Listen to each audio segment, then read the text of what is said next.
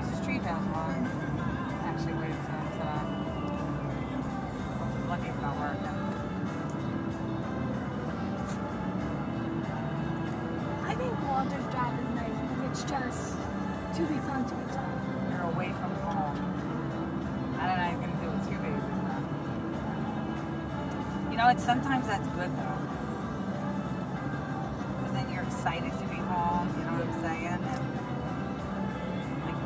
Bobby quit. She wanted to come home all the time.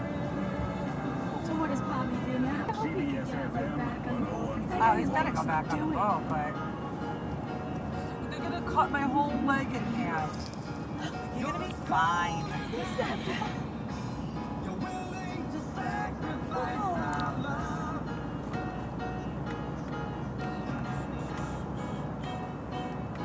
Are they really gonna cut it? Look on here and see what we're looking at.